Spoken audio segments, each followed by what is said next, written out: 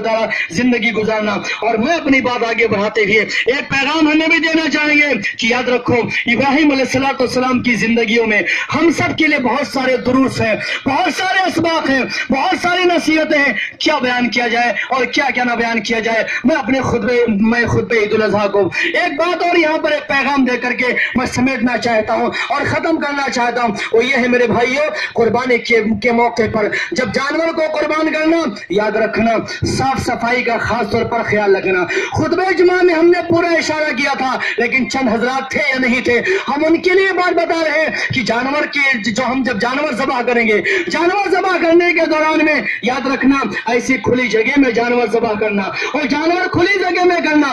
غیر مسلموں کو دکھانا ان کے جذبات کو ٹھیس پہنچانا، اس کا ویڈیو بنانا، سوشل میڈیا پر اسے اپلوڈ کرنا نہیں۔ ہاں ویڈیو بنا رہے ہیں تصویر لے رہے ہیں، اپنے موبائل میں محفوظ کر رہے ہیں، یہ الگ بات ہے، اسے شیئر کرنا۔ ارے، کتنے ایسے غیر مسلم ہیں جو گوشت کھانا پسند نہیں کرتے۔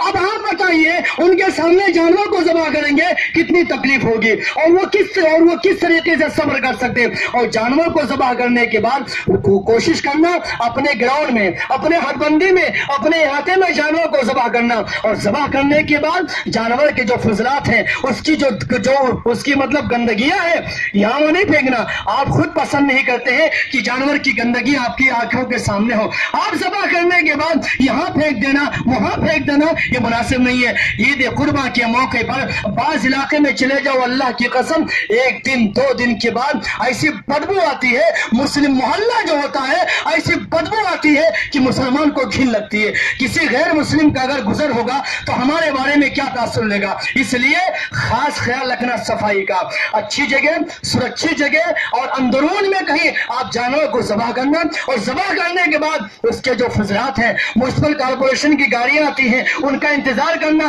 یا ان کو یا جو کچرا دان کوڑا دان ہوتا ہے اس کے لے جا کر کے حوالے کرنا۔ اس میں اس, اس معاملے میں اتنا تصاول بڑھتا جاتا ہے اتنی غفلت بڑھتی جاتی ہے۔ بعض لوگوں کو دیکھا گیا ہے ایسے گلی میں اللہ کی قسم گلی میں جانور ذبح کر کے جانور لے کر کے چلے جاتے ہیں اور خون ایسے کیسے پڑا رہتا ہے۔ بتائیے یہ مناسب ہے یہ نہیں؟ اسلام کہتا ہے اب تو ہو شک الایمان۔ ارے اسلام نے کہا، اسلام کا دوسرا نام پاکی صفائی ہے۔ خاص خیال رکھنا، اللہ تبارک و تعالیٰ آپ سب کو اس کی توفیق نصیب فرمائے۔